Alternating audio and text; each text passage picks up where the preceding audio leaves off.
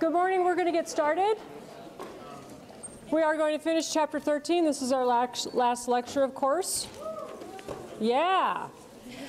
Okay, so I apologize that the podcast for the IR spectroscopy came up so late. I've, I've been working on it for two days. I had a lot of technical difficulties, things not working out, using other people's systems, so I couldn't do it earlier. And it's actually pretty complicated to do that. So those are up, and what I'm going to be doing on the final is asking you a pretty simple question on IR spectroscopy. So um, it will benefit you to, um, to certainly to look through the, the podcasts. IR spectroscopy is very easy. I consider NMR really difficult. So um, it's, it's helpful to be able to look through that. I'm going to, like I said, I'm going to ask you a really simple question. There is also a podcast on um, calculating units of unsaturation. I'm not going to ask you to calculate units of unsaturation on the final. Okay, so I know they probably covered, talked about that in the review. I'm not asking, going to ask you to do it. I will show you how to do it at the end of class using a simple formula. You will need it next quarter. You will need IR next quarter, so those podcasts will stay up for you when you need them. We actually do units of unsaturation in chapter 10. So if you're in my class next quarter, you, I, you don't need to know that until chapter 10. All right, questions? Anybody? If you've seen my old tests around, you will see, you'll see questions where I give you an unknown compound, I give you the molecular formula, I give you the IR, I give you the carbon, I give you the NMR, and I ask you to figure out what the compound is. That's how I normally test on spectroscopy. Um, but this is different. We've moved this chapter forward.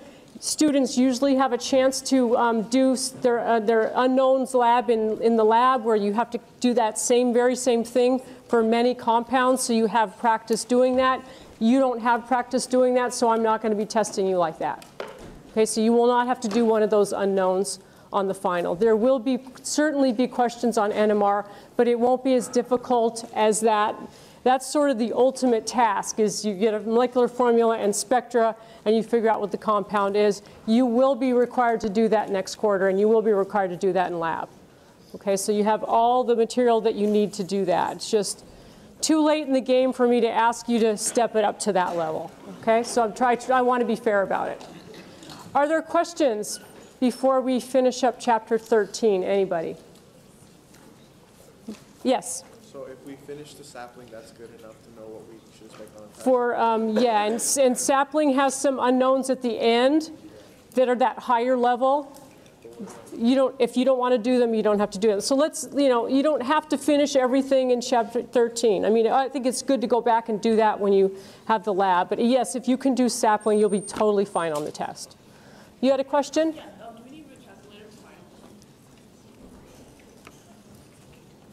I'll let you guys know.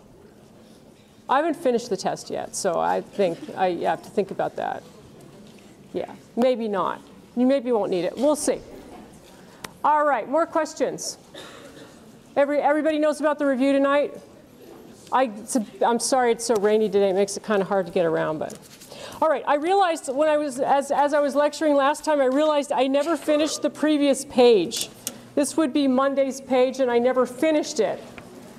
So at the very bottom of page 178, let's go back to that.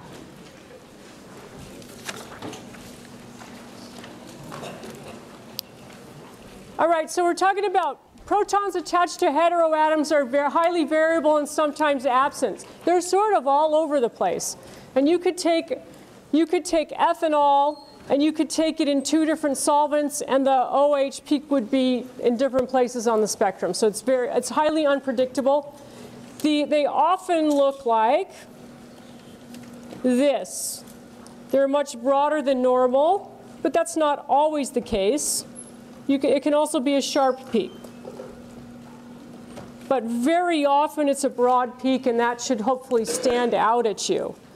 There's a couple of problems in sapling where they say, uh, you know, here's your NMR, and if you shake this with D2O, um, the this is what happens, the peak goes away.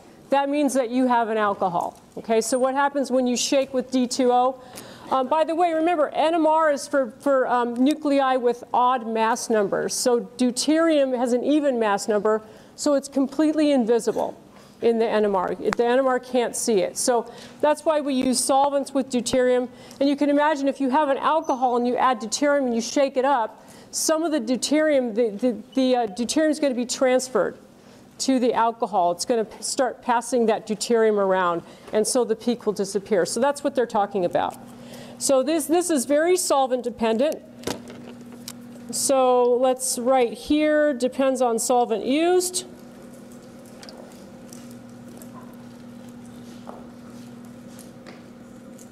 Also depends on concentration. So you could use the, you could take ethanol and you could change the concentration using the same solvent and the, the hydrogen bonded to the oxygen will appear at a different region of the spectrum. Hydrogen bonding is deshielding.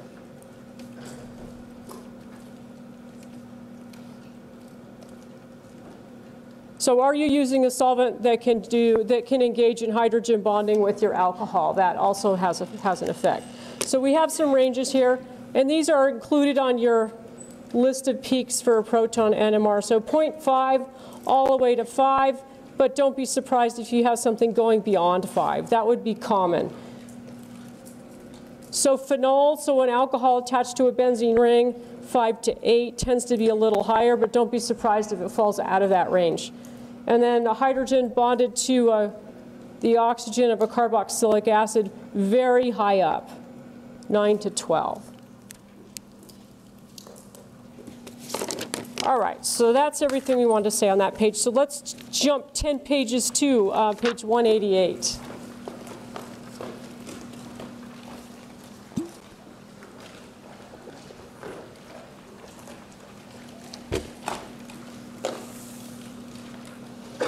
All right, and here's where we're talking about a signal that's split by two or more different kinds of protons with similar coupling constants.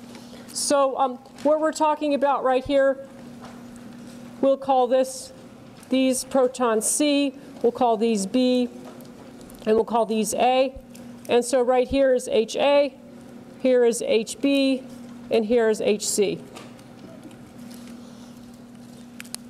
And if you look here, if we're looking at the B protons and how the B protons are going to be split, they're split by these two carbons, these two hydrogens here on this side and these three on that side. Those two hydrogens are not the same as those. Okay, so we would expect this to be split into three on this side, so a triplet, and then into four on this side, so a triplet of quartets. If you look here at this peak, though, it, what it looks like is it's, it, it, looks like we've been, we, we just split B by um, these three hydrogens all added together. So three, four, five, so it would be split into six, one, two, three, four, five, six. So it looks like it's being split equally, right? Like they're all the same. They really aren't the same, but it looks like we're just saying adding these neighbors together, three and two, that's five, so it would be split into six or n plus one. Okay, and so that's what it looks like. But if you, if you actually take this, that, and that's a 60 megahertz instrument, by the way. But if you actually take this on a higher, higher field instrument, this one is a 500 megahertz, you can see that it is not split into six here. Okay, it's actually, you can see the more complicated splitting here. And we'd have to go a little higher still even to see that a little better. So um, just wanted to make you, be, make you aware of that. All right, so how to interpret a proton NMR spectrum. Looks, this is right here. Evaluate units of unsaturation as for IR from the molecular formula. I'm going to talk about units of unsaturation at the end. If you have an IR of the compound, analyze the IR spectrum to determine functional groups. So that's what we use IR spectroscopy for, is determine, to, to determine functional groups. So you want to do those, these two things first. And then once you start looking at the NMR, you want to look for major features first before worrying about details. So consider the following. Broad singlets are usually due to hydrogens bond to oxygen or nitrogen. Okay, so I'm talking about something that looks like that. We just got through talking about that. That's on page 178. So um, often broad. So if you see a broad singlet in your spectrum, you, it would tip you off that you have a hydrogen bonded to oxygen or nitrogen. Absorptions around three or four are typical for hydrogens on carbons bonded to electronegative groups such as halogens or oxygen. Okay, so all of these hydrogens right here are going to fall in that range. Absorptions from about 2.1 to 2.5 usually mean you have protons adjacent to a carbonyl. Okay, so if you have just a methyl from a ketone, this is a chemical shift 2.1, and that would be a singlet because there are no neighbors. When you have longer chains here, this is going to move up higher. So these guys right here, 2.5, right here, 2.7. And what would be the splitting on this middle one? What would be the splitting for this peak here? Well, we've got three neighbors. Remember, n plus 1 rule. It's going to be split into a quartet. Okay? What about this one here? Septet. It's got six neighbors, so it'd be split into a septet. So that's what that would look like. A sharp singlet at 2.5 is consistent with a proton on a terminal alkyne. So this proton right here, chemical shift 2.5.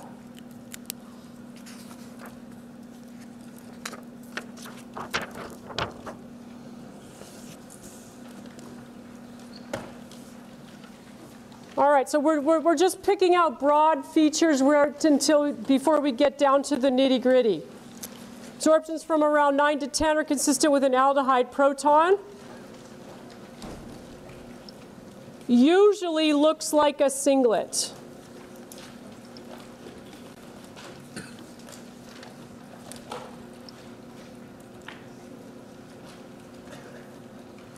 An aldehyde is a very small coupling constant with protons on the carbon adjacent to the aldehyde, so the peak can often appear as a singlet, especially if the NMR is taking on a lower field instruments. When you get into 500, 600, 700 megahertz, you will see splitting, uh, but this is typically going to be a singlet even though it has two neighbors, because the coupling constant is so very small.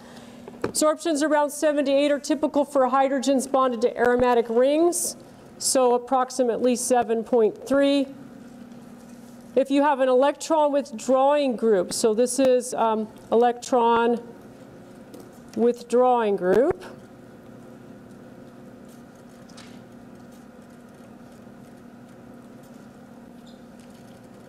This can be higher than 8.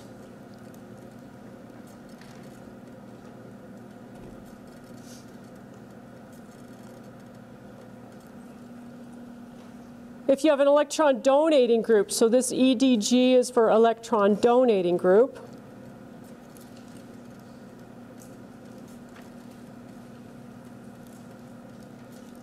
Um, then this could be lower than 7.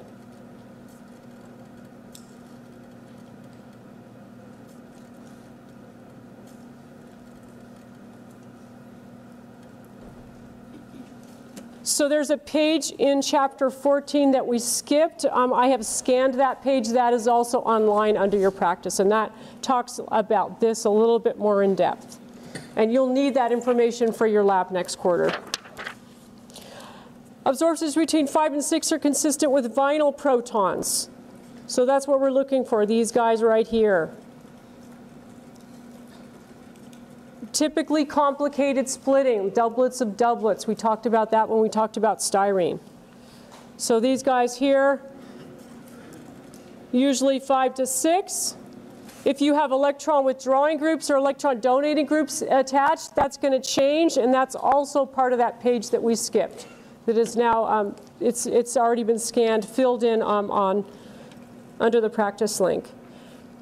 If you have other peaks at between 5 and 6, it also can mean that you have multiple electron um, withdrawing groups. So 5.47 and for this, and these hydrogens here attached to two oxygens, 5.61.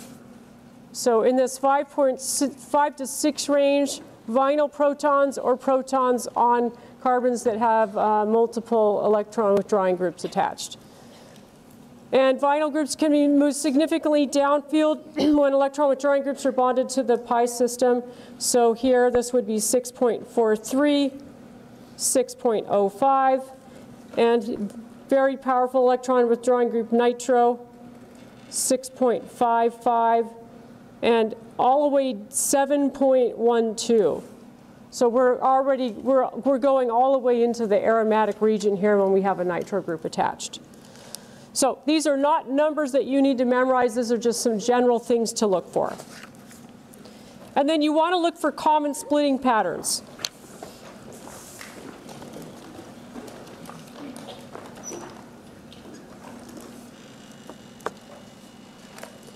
All right, so common splitting patterns. This is an ethyl signal. This is A, this is B, this is A, this is B. So you have a quartet that's downfield of a triplet. And um, that should jump right out at you as an ethyl signal. This is um, an isopropyl signal. So we have a, um, here, this is A, this is B, we have a doublet, and then we have this, this here, which should be seven peaks, but very often these outlying ones here are missing. So it might be less than seven. But it integrates, we'll put the integrals down below. This integrates one to six, and this one integrates two to three here. So these are the integrals on this line.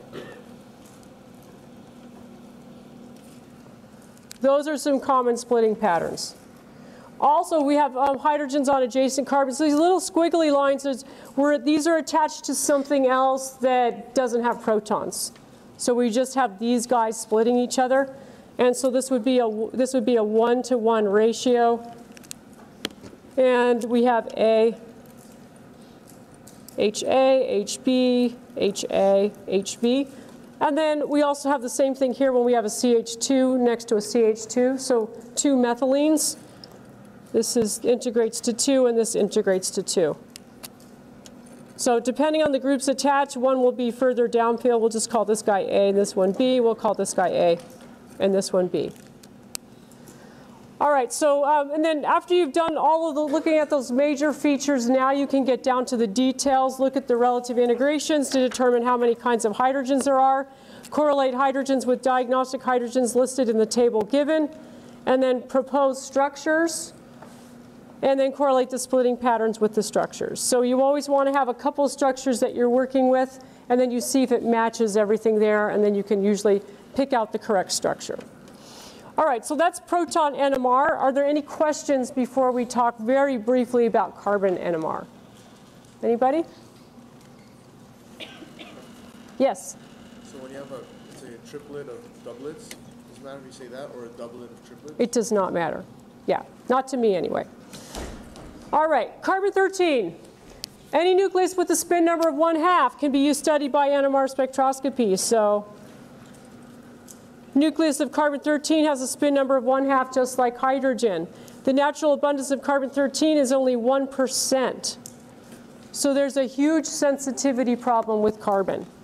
A carbon NMR is expected to be about 1% as intense as a proton NMR spectrum. So um, in order to take a carbon NMR, you need a more concentrated sample or you need to scan for much longer than you would for a proton. All right, so let's talk about some principles of carbon-13. It's, a lot, it's, it's actually a lot easier than proton NMR. So principles basically the same, but some aspects are unique. Number one, What's unique, coupling between carbons is generally not observed. Well, that's helpful. That's going to make it a lot simpler for us, right? When we don't couple, we don't have coupling to worry about. So we don't have our peaks split. And the reason is, is that if we look at just any carbon here, there is a 1% chance of this carbon being um, carbon 13 because the natural abundance of carbon-13 is 1%. So there's a 1% chance of that being carbon-13. So the odds are 1 in 100. The probability of two carbons having being carbon-13 in this molecule of two carbons in the same molecule being carbon 13 is 1 over 100, the odds for one over the odds for another one, and that's 1 in 10,000. So it's rare. It happens, but it's rare. And if we are already having trouble seeing something that has a natural abundance of 1%, we're certainly not going to see something where it's 1 in 10,000. Okay, that's just not, not something that we're going to be able to observe. Range of chemical shift is also very large compared to proton NMR. We go all the way from 1 to above 200. And if you compare this to a proton NMR, we go from 0 to about 10. We'll go above 10 um, sometimes, but we generally speaking, we go from 0 to 10, so it's a much larger range. This is our chart for where things happen in a carbon NMR spectrum, so this will be um, provided for you for the final. Coupling between carbon and hydrogens does occur. This presents its own problems. Typical coupling constants are very large, 20 to 120 hertz. That's huge. For directly attached protons, but longer range coupling is also observed, so protons on carbons 1 and 2 and 3 carbons away can also cause splitting. So uh, it would be terribly messy if we allowed this to happen. We're actually going to do away with this coupling, but let's talk about what that would look like if we allowed it. Split into a quartet by the three attached hydrogens.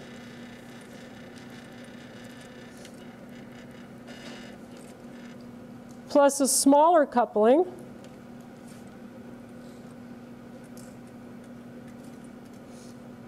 from the two adjacent carbons, plus coupling from nine hydrogens, three carbons over.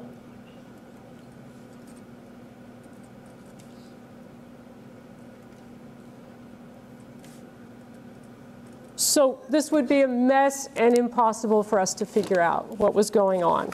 So uh, the, the carbon NMRs are run in such a way um, they're run as proton decoupled to simplify the analysis. And this is called spin-spin decoupling. And it gets rid of this carbon-hydrogen coupling called spin-spin decoupling.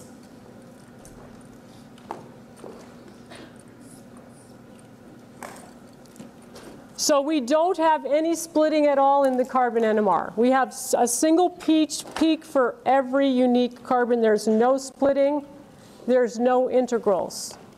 So it's much, much simpler. So we don't integrate, we don't have, we don't have splitting. We're going to get a single peak carbon peak for every unique carbon. We're going to, for this class, we're going to rely on two features of carbon 13 NMR to solve structures. Um, the first is the number of signals gives the number of different types of carbon atoms in a molecule. The number of, let's just say, unique carbon atoms in a molecule.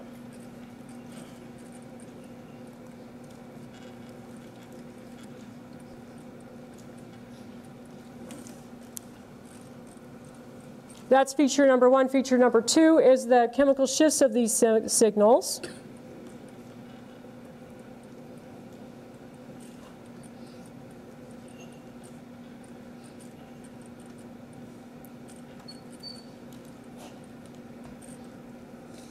gives information about the environment of each carbon.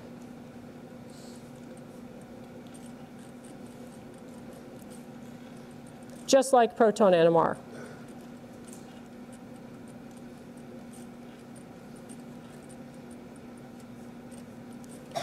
So here's a sample problem. How many lines are observed in the carbon-13 NMR spectrum of the following compound? Which carbon signal would be the furthest downfield? So if we count unique carbons, well, I'll just put numbers here. This is one, two. The carbonyl is a carbon, has a carbon. One, two, three. This is four. And these two guys are identical. So this would be 5. So uh, number of unique carbons is 5, so therefore we will have 5 signals.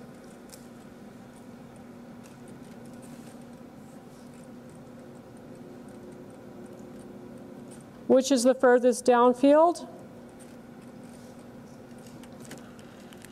Let's go back and look at our chart here.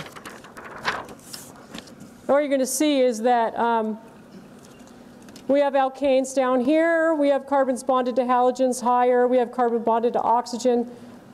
So similar to proton NMR, carbons that are part of a carbon-carbon triple bond, carbon-carbon double bond, aromatic. The ones that are the furthest downfield are the carbonyls. Okay, so if there's a carbonyl, that's going to be the one that's the furthest downfield. So that's the same here. Furthest downfield is going to be the carbonyl carbon.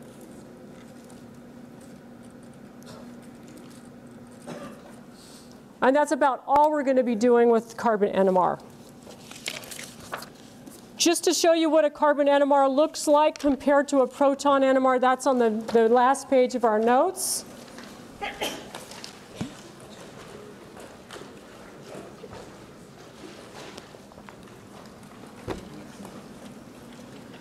So as you can see with cholesterol, we have a lot of um, carbon-hydrogen bonds that are very similar chemical shift, very similar coupling constants, and so it gets extremely complicated like this. And th this would not be a spectrum I would ever give you to study. Okay, so this would not be something I would give you. Very complicated. Um, only somebody who had studied spectroscopy um, very well would be able to do that. So the, the, the, the, grad students here, they take a spectroscopy class and they spend the whole quarter talking about spectroscopy and they go very in depth. And then um, on Saturday, Saturday of, is it this Saturday? This Saturday. Or the Saturday of finals week, they come in and they take a 12 hour final. And they're given things that look like this and they have to figure out what it is. And so they get to, you know, they get up to, they can get up and go to the bathroom and they can do, you know, whatever, they can, they can go eat lunch, but they're not, they're not supposed to talk about it and they don't, and that's the, their 12 hour final. So um, the first year grad students have to suffer through that. Um, so I guess that, that would be the worst final ever, right? All right, I want to say, I want to say uh, something about um, uh, units of unsaturation, degrees of unsaturation, and there's like a 10 minute podcast that goes a little bit more in depth, but um, if we have, so just take a piece of paper off, you can write it on the bottom here. Units of unsaturation.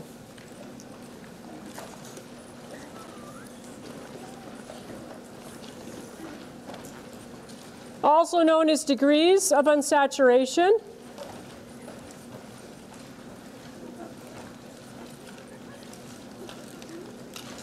Also known as unsaturation number.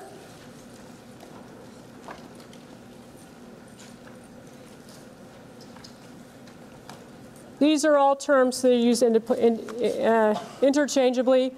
And, and, and really, it, it's going to help you do your sapling chapter 14 assignment. So we do need to talk about it. I will not be asking you um, to do this on a test. But if we have a saturated hydrocarbon,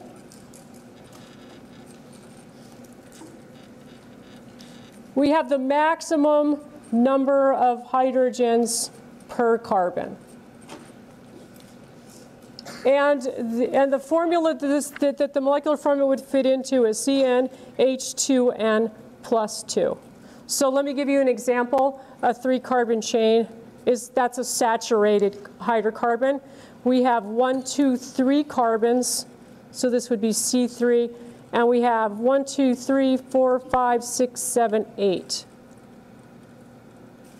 So 8 is the maximum number of hydrogens per three carbons, and so that's a saturated hydrocarbon. When we add an unsaturation, unsaturated hydrocarbons. We add a ring or a pi bond. Have ring or pi bond. All right, so let me give you an example. Take that same three carbon chain and now put a double bond there. Now if you count carbons, there's three carbons. There's one, two, three, four, five, six. There's six hydrogens. So you see we've dropped two hydrogens. It's unsaturated. So we have um, two less hydrogens. than um, a saturated hydrocarbon.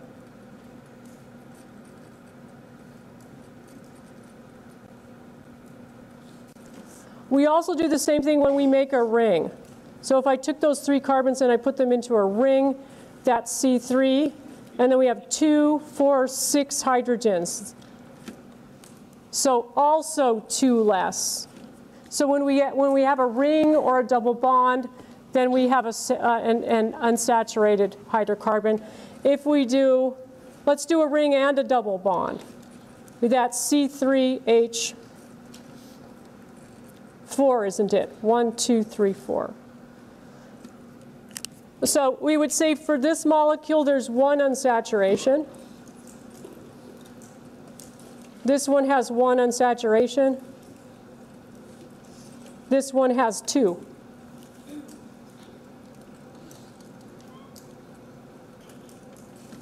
So, um, or we could say this has one degree of unsaturation or saturation number of one. This one has, um, this one also has that. This has two degrees of unsaturation or an unsaturation number of one. All those uh, terms are used interchangeably. And, and what it does is when we, when we know the, the, the saturation number, the degrees of unsaturation, it allows us to very quickly draw several possible structures for a molecule. You, if you remember back to um, chapter 1 when they said, draw five examples of something in the C5H10. And you were like, you spent all your time counting carbons, right? You, and, and, and so it took you a long time. If you know the unsaturation number, then that's going to be a really easy job for you. So C5H10, let's do C5H8. We'll do C5H8. Now, I show you a method that I usually use. Um, and, and that's in the podcast. You don't have necessarily have to watch the podcast because I'm pretty much covering most of it. But um, if this was saturated, it would be C5H what? It has to fit this formula here, H12. So we are short by uh, four hydrogens. So therefore, we have two unsaturations. Every time we drop two hydrogens, we add an unsaturation. So we have two unsaturations. So now, if I had, if I had you draw, give me an example of something that would fit that. I could draw a five-membered ring with a double bond. I could draw something like that, two double bonds. I could draw something with one, two, three, four, five, five carbons. I could draw that. Oh, I, I need a five member ring, yes, sorry about that. Let's go like that. Thank you. I could do this. One, two, three, four, five. I could do a four membered ring. I could do a three membered ring. Now, how long would it have taken you to draw these in chapter one? You would have to be counting carbons and all that kind of stuff. And I don't have to count carbons because if I have the right number of unsaturations, I have the right number of carbons. So this is very useful when you're trying to come up with potential structures when you're trying to solve an unknown using spectroscopy. So um, there's a formula that is not in your book that I'm going to give you. I don't use this formula myself, but um, it's a really helpful formula to use. And, ah, let's see. I'm, gonna, I'm out of space on this transparency, so I'm going to put it on the bottom of page 193. So I'll take this off here. Here's the formula. U equals, so U for unsaturation number, 2C plus 2 plus N minus X minus hydrogen. And this is also on the podcast. There's also a handout that goes with the podcast that's online. So C is the number of carbons, N is the number of nitrogens, X is the number of halogens. And then you divide that whole thing by 2. So if we have C8, H9NO, for example, U equals 2 times 8 plus 2 plus 1 nitrogen minus 0, there's no halogens, minus 9 hydrogens divided by 2. And if you calculate that, you get 5, 5 unsaturations. So I um, just want to give you a little hint. If you have a large number of unsaturations and a small number of carbons, think benzene ring.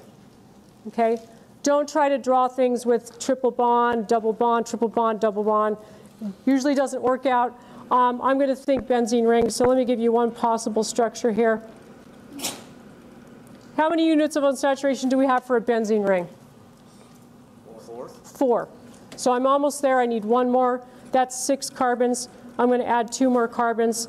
And then um, I need, yeah, yeah, I like carbonyl here. I also have a nitrogen. So that's, my, that's one possible structure. Okay, or you could have you could have done something like this. I'll just put an NH2 here, and then um, I could have something like that.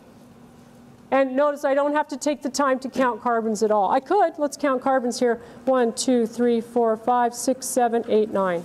Going to be it's going to be the right number if you have the right number of carbons and the units of unsaturation. So that's very helpful and handy technique if you need to calculate units of unsaturation, which is going to helpful for you to be finishing the sapling assignment for chapter 14. Questions on unsaturation number? Anybody? Yes? You're still lost? Okay. Um, I'm just out of space. I should have brought more transparencies. Let's see, maybe I have one down here. No, I don't have one down there. Okay, maybe I have one in here. Hang on. I do. Look at that. Okay. So let's do, let's do C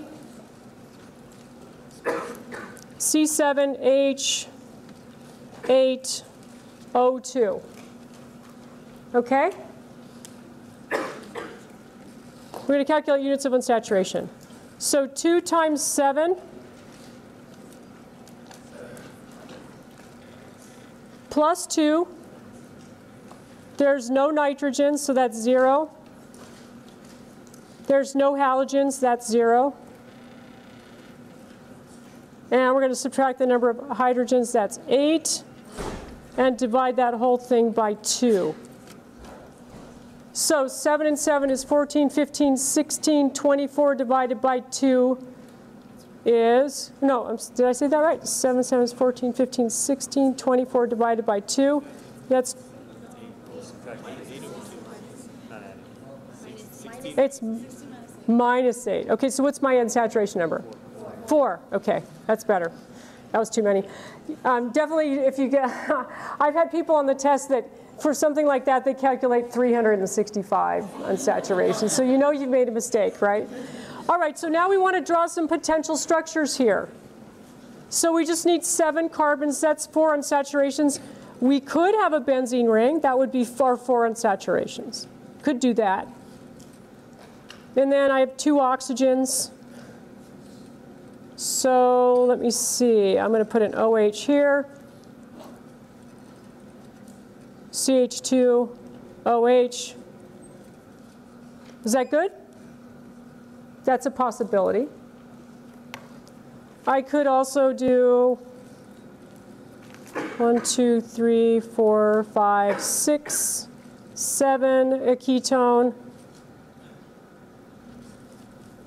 or carboxylic acid, there's one unsaturation, there's another. So unsaturations are double bonds or rings.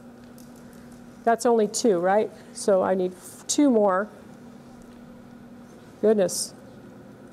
Okay. That's if I don't have a ring. One, two, three, four unsaturations. So you guys get the idea? Any other questions? Yes? The ring is one unsaturation and each double bond is one, too, So it's four altogether. Is that good? You, you, do you see it now? Yeah. One, two, three, four, five, six, seven. That's a good point. Make sure you count your number of carbons. All right, yeah? How come the oxygens don't account, don't make a change in the uh, unsaturated number? How come the oxygens don't make a change in the unsaturation number? Hmm. Well, because they don't. So, like for example,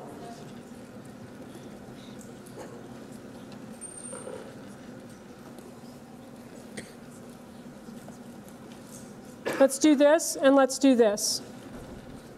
Okay? This is uh, C3. H, 1, 2, 3, 4, 5, 6, 7, 8. This is uh, C, let's do C3 again, okay? So I'll make that three carbons. One, two, three, C3, H, 1, 2, 3, 4, 5, 6, 7, 8. So you see what I mean? Yeah. How come nitrogen changes? Nitrogen changes it because it changes the number of hydrogen. So for example, let's, let's now do one with nitrogen. Three carbons and, and let's do NH2. All right, so that's 1, 2, 3, C3, H, 1, 2, 3, 4, 5, 6, 7, 8, 9. It adds a hydrogen. So that's why we have to subtract a nitrogen. And so let's do one with a halogen. You'll see why we have that. Let's do one with a halogen. That's C3H, 1, 2, 3, 4, 5, 6, 7. See how that chlorine took a place of a hydrogen. So that's where we get this from. So if you forget how this works, um, you can always go back to sample things like this to see what's going on. All right, we will um, stop right there. If you have individual questions, you can come on up. I will see you again at discussion, and I'll see you tonight. Thank you. Thank you.